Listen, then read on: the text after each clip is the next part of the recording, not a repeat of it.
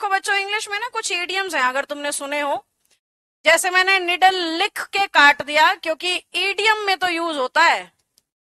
सुना है ये मुहावरा? निडल्स पॉइंट एक मुहावरा है, जिसका मतलब होता है छोटी सोच। संकरी सोच।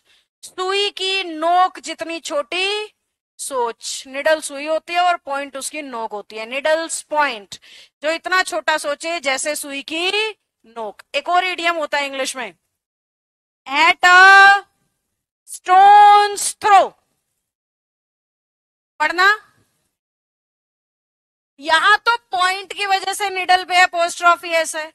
यहाँ थ्रो की वजह से स्टोन पे अपोस्ट्रॉफी एस है. नोटिस करो निडल भी नॉन लिविंग टचेबल था और स्टोन भी नॉन लिविंग टचेबल है. फिर भी क्या लग रहा है? अपोस्ट्रॉफी क्यों एक्सेप्शन है?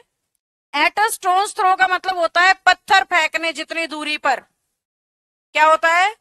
पत्थर फेंकने जितनी दूरी पर। सपोज़ यहाँ से मैं ऐसे पूरा हाथ घुमा घुमा के पत्थर फेंकू तो कहा जाके गिरेगा? दिल्ली? पाकिस्तान? अमेरिका में रुक कर चला जाएगा क्या? यहीं गिर जाएगा। क्या पता तुम में से ही किसी के सर पे भी गिर जाए। ऐसा ही होगा? तो पत्थर फेंकने जितनी दूरी यानी बहुत पास।